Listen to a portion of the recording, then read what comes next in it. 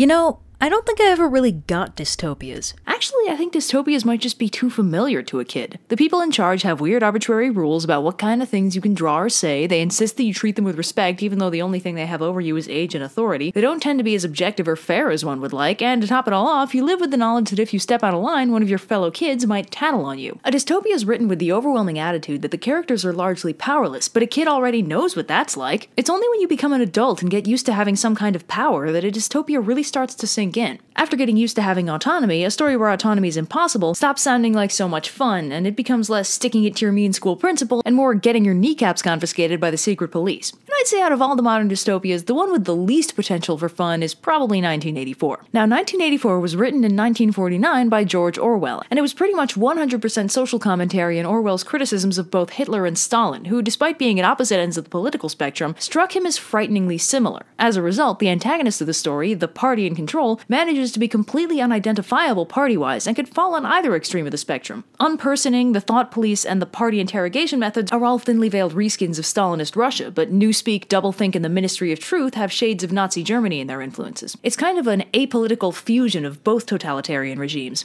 Our POV character, Winston, is basically a conduit by which Orwell can discuss his thoughts on the political climate. The book is essentially a series of events interspersed with inner monologue essays as Winston tries to reconcile his thoughts on the party and the nature of reality. Now, our story begins with our hero Winston writing down his thoughts on life in his personal illegal diary hidden from the camera in his room. Winston is just your average Joe government worker. He's got a job he hates, a coworker he's got a crush on, and a crushingly dystopic government hovering over him that has him and everyone else under the constant monolithic surveillance of the godlike Big Brother. Truth is whatever the party claims it to be, and the only entertainment to be found is in the regular public executions of prisoners in war and citizens that dared step a toe out of line. Mondays, am I right? So Winston is an employee at the Ministry of Truth, the innocently named government agency in charge of dispensing truths to the eager citizens at large. But of course, the normal truth is nowhere near accurate enough for the illustrious party, so instead of relying on the facts of reality to conform to the narrative they need, the party instead makes liberal use of, shall we say, alternative facts in order to keep their citizens quote unquote informed. That way, if the party benefits from the citizens believing that 2 plus 2 equals 5 for a day, the party can say it with confidence and their citizens will happily oblige. Or at least they'll be smiling. So the citizens are routinely subjected to this thing called the two minutes of hate, wherein Goldstein, the party traitor supposedly bent on bringing Oceania to its knees, spews a whole mess of propaganda about the party and how it's wrong and evil and tyrannical and junk. Interestingly, we're directed by the author to observe the fact that a persistent fear brought on by the two minute hate is that even though the propaganda is obviously lies, someone less level headed might be taken in by it. This obviously promotes a feeling of persistent paranoia that the people around you might have been brainwashed by the opposition. But it also ends up promoting the tactic of sticking one's fingers in one's ears and not listening to the opposition's arguments in case they end up making too much sense. Because if your enemies make sense to you, that must mean they've successfully brainwashed you. As the hate continues, listening citizens get more and more freaked out, shouting and screaming over the broadcast to drown out the voice in order to avoid listening to the words that might subvert them from loyal citizens into spies and rebels if they let the message sink in. The message here is pretty clear. Listening to people you disagree with is ill advised by the party because what'll happen if you start agreeing with them? Better to pretend like nobody else could have a valid perspective. After all, there's only one truth, and it's whatever the party says it is. It's worth noting that even though it looks like Orwell is prompting the idea that fair and reasoned debate is the only real way to oppose the party, that because one side is shouted down, the solution must be to listen to what they're saying, he's actually kind of subverting that idea. Because, see, there is no reasoned debate, because the party is everything, and the opposition is an illusion. The party produces the illusion of alternative perspectives to convince their citizens that those perspectives have been fairly defeated, when in actuality, all they're doing is propping up straw men and tearing them down as a show of strength. But the thing is, even though there is no real opposition in the form of Goldstein's party, the party does occasionally face real internal opposition from citizens that have failed to be properly assimilated. And in those cases, we see the failure of quote unquote reasoned debate, because our citizens are usually in the right. They're usually having a crisis of faith brought on by the collision between real truth and what the party claims truth to be. And they only lose because the party gets to redefine truth and essentially break the citizen's mind until they agree. What may look like reasoned debate is actually unwinnable from one end because the other is defining the nature of truth itself. It's not always possible to defeat someone who's demonstrably wrong because there will always be people who believe them no matter what they or you say. People are stubborn and it's not always possible to change someone's mind. It doesn't make them right, it doesn't make you wrong. Orwell talks more about this later. The bad news for our buddy Winston is that while he was having his flashback, apparently all his suppressed hatred of living in the iconic dystopia had boiled over, and he's written down with Big Brother in big letters all over his diary, which means he's officially committed a thought crime,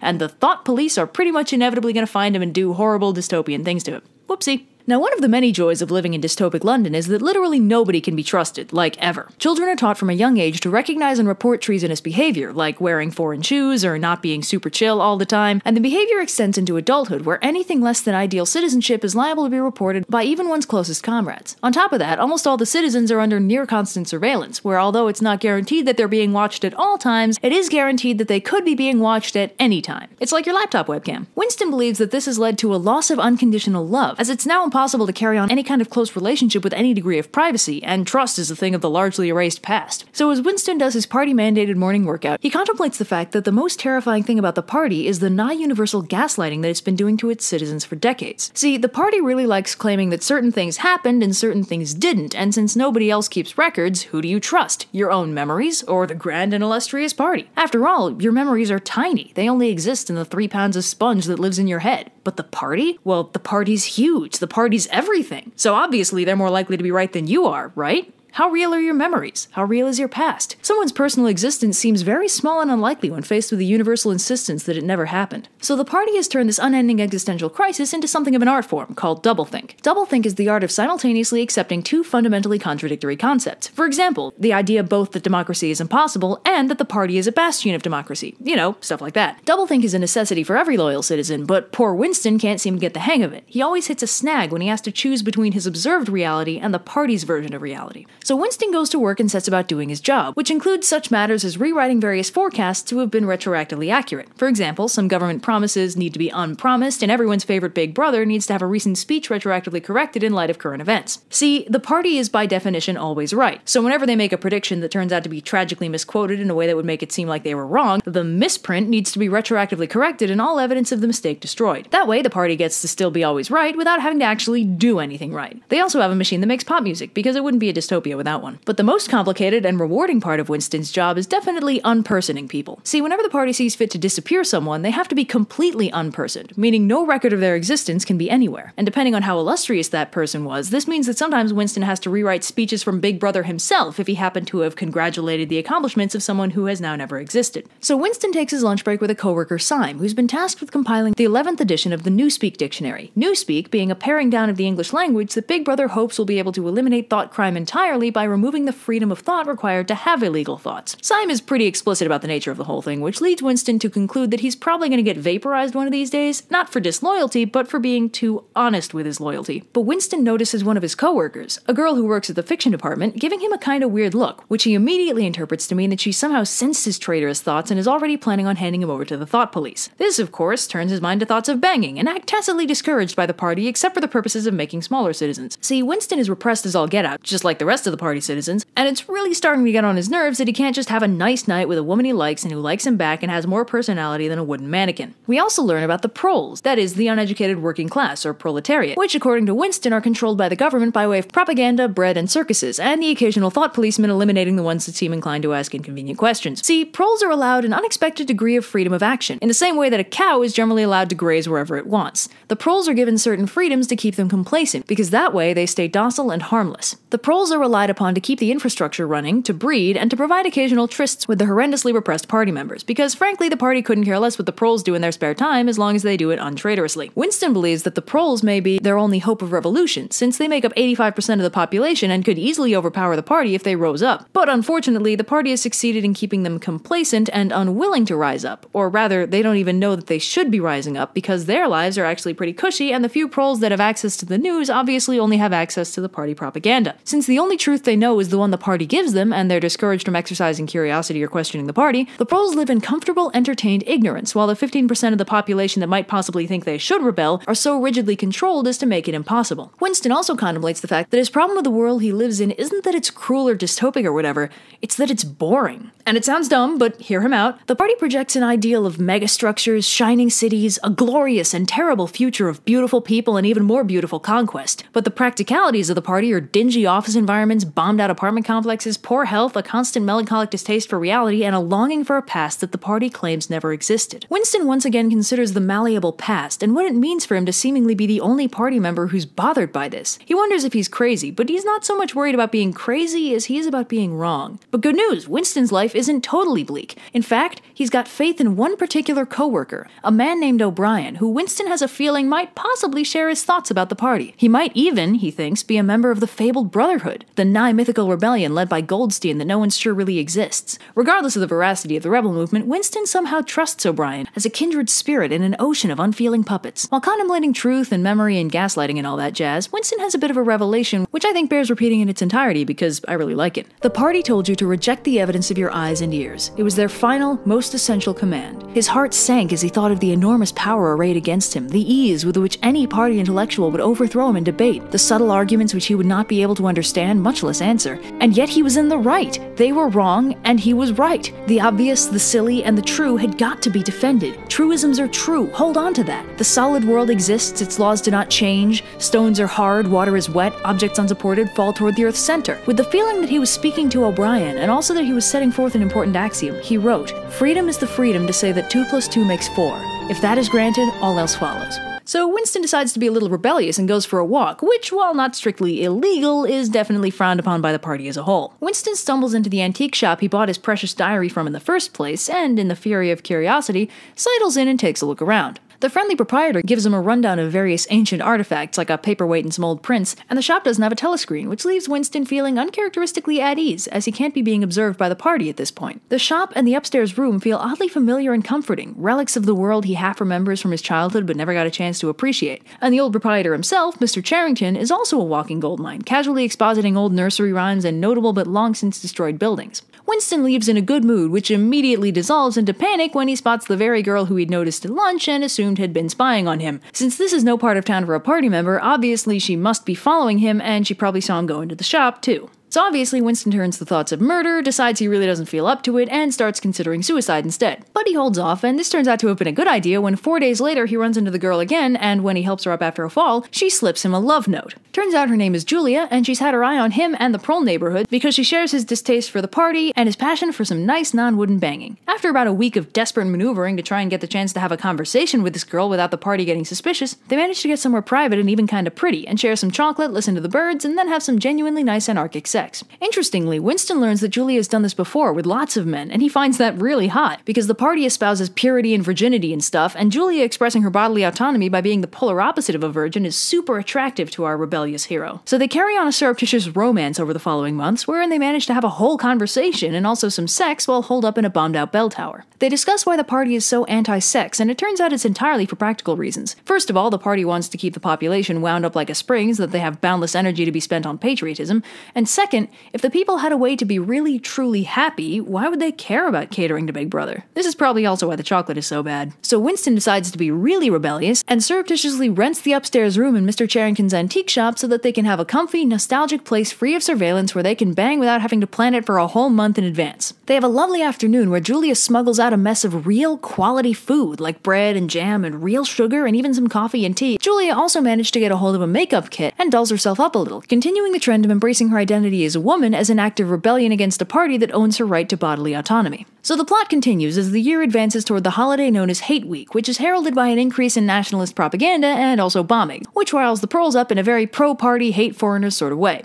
Meanwhile, Julie and Winston enjoy some genuinely relaxing quality time together, squirreled away in their hidden antique bedroom while contemplating how super, super dead they are when they get caught. They also discuss their differing views on the party and the people it governs. Julia thinks everyone secretly hates it and would rebel if they could, but doesn't believe there's some secret organized rebellion trying to sabotage it from within. Winston, meanwhile, believes complacency runs rampant through some of the population, but there could be a secret cabal of rebels working to take the party down and save them all. Julia also doesn't believe that a war is really happening. She suspects the party is bombing its own people to keep them angry and on their toes, which is disturbingly plausible even though it turns out to not be true. So later on, O'Brien stops Winston in the hall and casually gives him his address, promising to lend him a copy of the latest Newspeak dictionary. But Winston is pretty sure that he's actually going to give him a copy of Goldstein's Guide to Rebelling Against the State. But before that, he has a dream about his mother and realizes something else about the party. They convince their citizens that how they feel about stuff doesn't matter. More specifically, how they care about other people. They're taught to dismiss things like human life. A building getting bombed is just another crater, and the people who died weren't much of anything, really. Compassion and empathy are completely squashed, most obviously for outsiders, but more impressively, even for other citizens. He contemplates that when they inevitably get caught, he's going to focus on not betraying Julia. As in, he's not going to let the party make him stop loving her. He and Julia agree that no matter what the party makes them say, it can't make them believe it. Let's hope that works out for him. So Winston and Julia seek out O'Brien to try and join the rebellion. He grills them on what they'd be willing to do for the rebellion, everything but separate as it turns out. Then he tells them that he'll send them the super secret rebellion handbook and sends them on their way. So Hate Week rolls around, complicated somewhat by the fact that the party is abruptly at war with someone different than they were at the beginning of the week, which means five years of propaganda needs to be rewritten very suddenly to accommodate the change. So poor Winston has been horrifically overworked for the past five days rewriting history, but he finally manages to get his work done and crawls up to the antique bedroom to read a beginner's guide to overthrowing an oppressive regime. The book is a pretty solid rundown of the real history of the world, as well as a comprehensive study of why exactly the party is at war all the freaking time. The answer is, as it always is, cheap labor and free resources. But more importantly, we learn why this dystopia happened, and you're gonna love this. It's because the vision of the future that was held in the wake of World War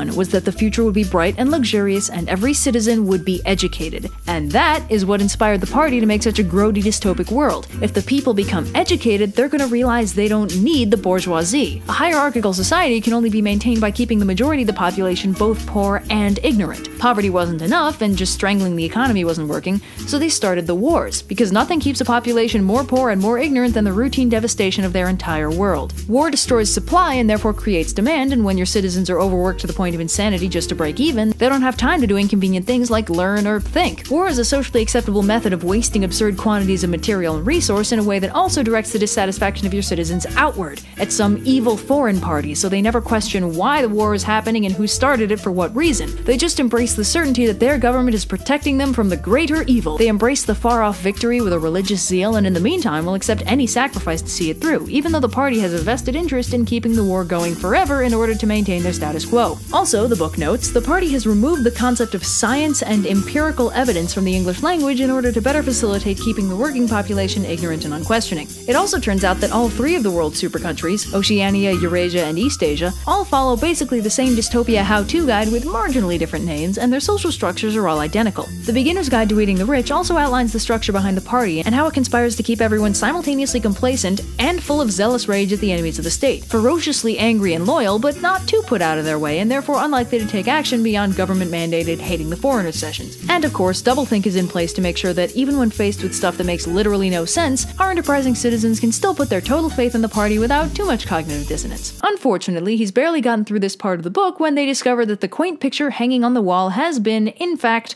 hiding a telescreen the whole time. So basically, they've been under constant surveillance since the first day they came up here, and the party absolutely heard the whole thing about the tough guy to dismantling the government and also probably all the sex. Whoops. So it turns out the charming old shop owner, Mr. Charrington, was a member of the Thought Police all along, and Winston and Julia get super arrested. Winston gets dumped in a cell to wait for like ever, while in the meantime, along with a string of other prisoners, two of his coworkers get dumped in with him. One for failing to remove the word God from a poem, the other for saying treasonous things in his sleep. The days wear on, and Winston observes that whenever a prisoner is told that they'll be taken to room 101, they always freak the hell out. While he's pondering this, O'Brien comes in, whereupon it becomes clear that O'Brien himself is also a member of the Thought Police, because Winston's day wasn't bad enough already. So they take Winston, and O'Brien tortures the crap out of him for a while to get the standard confessions out of him, and then tortures him some more in order to cure his faulty memory that makes him remember events the party says never happened. O'Brien systematically and calmly dismantles every memory he has that doesn't line up with acceptable reality, and poor Winston once again revisits the age old existential crisis of did that happen or did I imagine it? O'Brien explains that it's an error to believe that reality is anything close to objective. After all, the only access you have to reality is through your own perceptions, and can't your perceptions be wrong? Really, it's Winston's fault for failing to properly manage his perceptions of reality so as to make him think that the things he saw had to be real. By the way, if you were wondering what inspired the four lights scene from Star Trek Next Generation, it's this exact scene where O'Brien tortures Winston until he agrees and really believes that he's holding up five fingers instead of four. O'Brien explains to Winston that even though they're super gonna kill him, they're gonna fix him first. So they do something weird to his brain, and for about 30 seconds, he's actually complacent, the way the party wants him to be. He sees five fingers, he remembers that he made up his perceptions of reality, all that good stuff. He snaps out of it, but he wants to go back because it felt right. It felt like he was finally sane by the standards of society. So that fun situation continues for a while, and we learn that the beginner's guide to joining the rebellion was actually written in part by O'Brien in order to entrap wannabe rebels and then cure them of their crazy. O'Brien goes back to the idea that reality is only what exists in the perception of humanity, and therefore by controlling perception, the party controls reality. Winston is pretty insistent that reality is real and something will make the party fall, but his arguments get worn down and eventually he breaks. They plop him down into a cell, let him actually eat and exercise, and he gradually becomes more of a human being while doing his best to re educate himself in the tenets of the party. He practices doublethink and crimestop, the act of not letting your brain even think traitorous thoughts, and gets decently good at it. He's even comfortable for a change. He's doing super well, but then he has a moment where he cracks and calls out for Julia, showing that there's still work to do. And this is when he gets sent to Room 101. Now, Room 101 is specifically designed to be the worst nightmare of whoever's being sent there. In Winston's case, he's got this terrible fear of rats. See, the idea is that by using Room 101,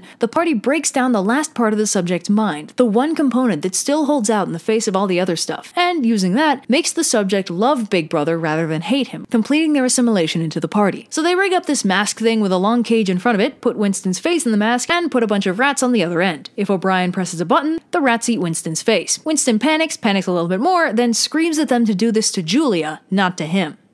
And with that, he is a free man, a free, good citizen who's definitely going to get shot one of these days, but in the meantime is absolutely free to hang out in a corner cafe, read the paper, and solve the chess puzzles. He'd previously ran into Julia, who also looked rather the worse for wear, and it's really clear that they can't love each other anymore. After all, they both betrayed each other in Room 101, and they both meant it 100%. Winston is every once in a while troubled by intrusive false memories, but overall he's a fine citizen. He's successfully conquered himself and come to terms with the reality in which he lives feel good novel of the century.